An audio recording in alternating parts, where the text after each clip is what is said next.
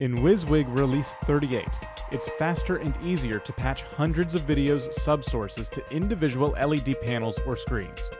Let's take a look. We will first create an LED panel through the LED wizard.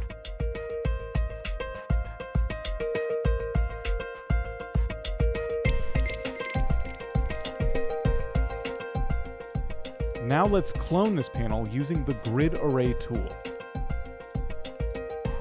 For this grid, let's choose 15 columns and 10 rows, which will give us a total of 150 individual LED panels. At this point, WYSIWYG already knows the size and number of rows and columns in my LED wall, so I can simply choose an image or a video source and ask WYSIWYG to split the content and auto-patch it accordingly.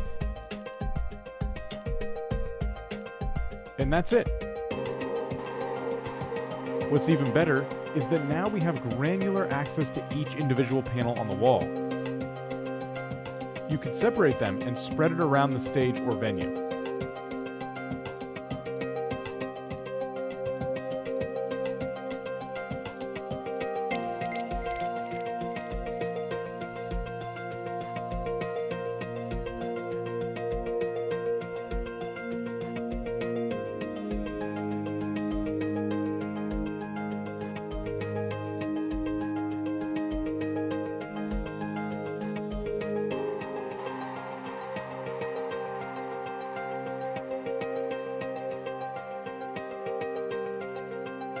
You can also easily replace the video source for all panels.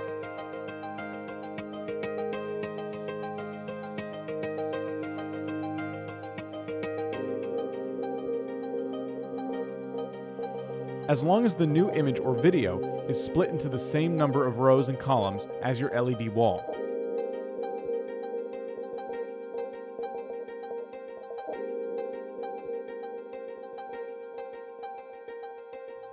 No more manual patching. It gets easier and faster with WYSIWYG R38.